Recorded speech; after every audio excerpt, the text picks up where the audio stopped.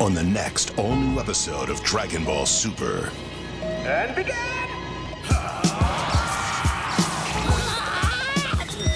He's fast. Nothing I haven't seen before.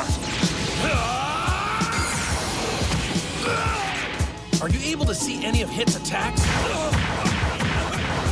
Not a one. Dragon Ball Super, next Saturday at 11. You dare mock me!